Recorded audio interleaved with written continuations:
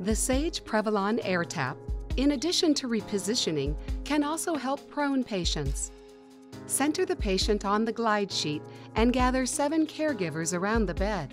Place a second glide sheet with the M2 microclimate body pad on top of the patient. Roll the flat sheets, glide sheets, and body pads together toward the patient. Slide the patient in the opposite direction that they'll be rolled. Roll patient halfway and pause to ensure lines and tubing remain free to move with patient. Roll the patient to prone position. Unroll the flat sheets, glide sheets, and body pad.